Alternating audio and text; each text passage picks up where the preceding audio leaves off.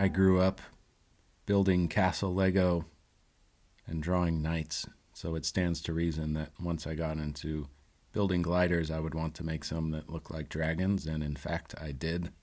Starting with these two big ones, which to my surprise were airworthy, so I made a whole bunch of variants, different sizes and colors, and some bird like dragons. It seems that the more exaggerated the body and wing shapes, the more they look like dragons from TV shows, the worse they fly. So for this particular design, I'm returning to something that is more glider like. I saved the templates.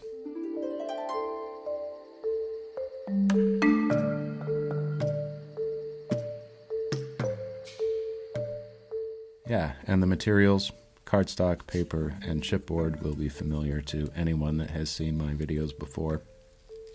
I used an old file folder for the side pieces that is equivalent to about 80 pound cardstock or 215 GSM, and I forgot to embed a machine nut in the head. You should definitely do that for the weight you're going to need, it will save you some trouble later.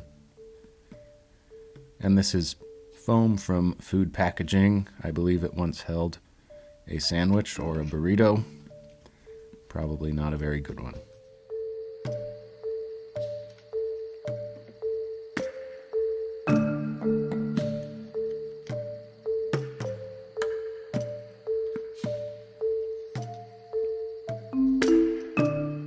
Don't worry about using plenty of glue when you put the pieces of the body together and make sure they are well aligned as the glue is drying.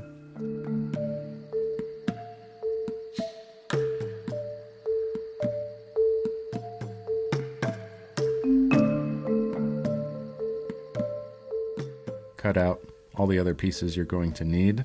You'll notice that I made the wing spars out of chipboard rather than pieces of basswood or coffee stir sticks.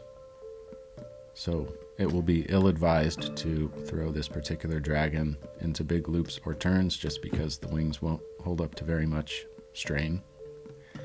And now the long and tedious process of adding all the scales. Work from the tail to the head, starting on the ventral side and moving to the dorsal side, where you'll need to be more careful with the length of the scales and sometimes cut the ends at specific angles or with curves. Possibly make some relief cuts so the paper can conform better to the curves of the body.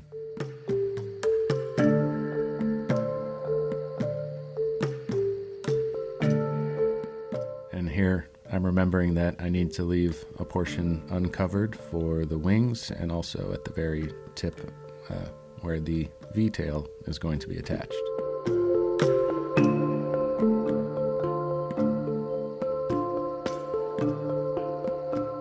Check the video description for partial plans. Uh, they will not show these two pieces I'm attaching. These simply form a cradle for the, the wing to rest in and be securely attached to the body.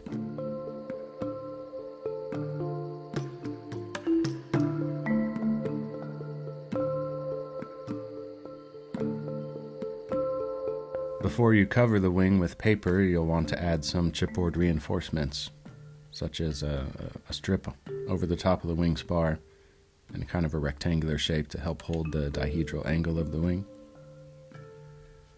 I prefer to use a glue stick for attaching the paper because it will wrinkle less than with liquid glue, but usually a couple of spots won't bond, so you just have to go back and take care of those. And then you're going to give the wing some camber. Some people say under camber. I've said under camber many times. I'm not sure if it's a word, but make it an airfoil basically. And you need two little triangular relief cuts on the center line that allow the wing to be both dihedral and have the cambered form. Here I'm just adding a strip of chipboard because I noticed that the wing wasn't quite making contact uh, with the body right on the center, so of course I needed it too and hold the wing in place for at least five minutes as the glue sets up and check to make sure that it's perpendicular to the body because that's very important.